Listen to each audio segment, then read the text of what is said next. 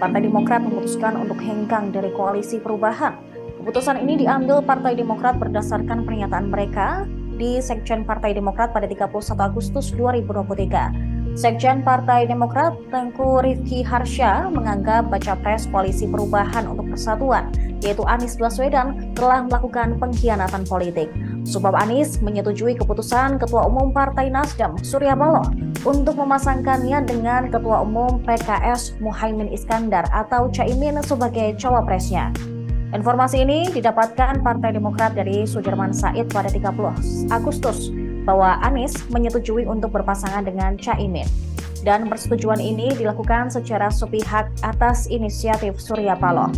Tengku Rifki Harsha mengatakan Surya mengambil keputusan itu setelah bertemu Muhaimin di Nasdem Tower di Menteng, Jakarta pada Selasa malam kemarin.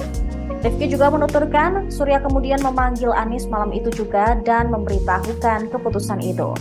Maka Rifki merasa bahwa Anies telah melakukan pengkhianatan karena sebenarnya sudah memilih Ketua Umum Partai Demokrat Agus Harimurti Yudhoyono atau AHY sebagai baca pres pada 14 Juni 2023. Padahal dalam nota perjanjian pembentukan KPP yang ditandatangani oleh Ketua Umum Nasdem, PKS, Demokrat, disampaikan bahwa penentuan baca pres ada di tangan Anies sendiri.